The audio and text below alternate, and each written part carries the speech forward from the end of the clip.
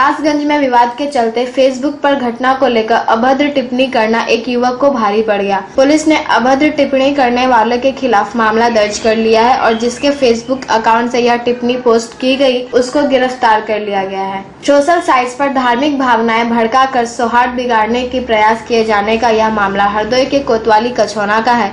यहाँ कस्बा निवासी मोहम्मद सलमान सल्लू के फेसबुक अकाउंट से एक पोस्ट डाली गई।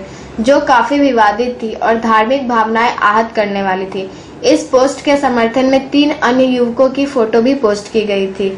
वही सोशल मीडिया पर जैसे यह पोस्ट हुई, कुछ देर बाद ही इसकी चर्चा शुरू हो गई और लोगों में आक्रोश फैलने लगा। वहीं इस मामले की जानकारी हरदोई में उच्च अधिकारियों को लगी तो पुलिस सक्रिय हो गई और आनंद फानंद में युवक को गिरफ़्तार कर लिया गया। पेश है हरदोई के संवाददाता सुनील कुमार की खास रिपोर्ट। धार्मिक विद्वेष फैलाने वाली टिप्पणी की गई थी। उस प्रकरण में एक एफ़ आई दर्ज हुआ है, उसमें आरोपियों की गिरफ्तारी हुई है।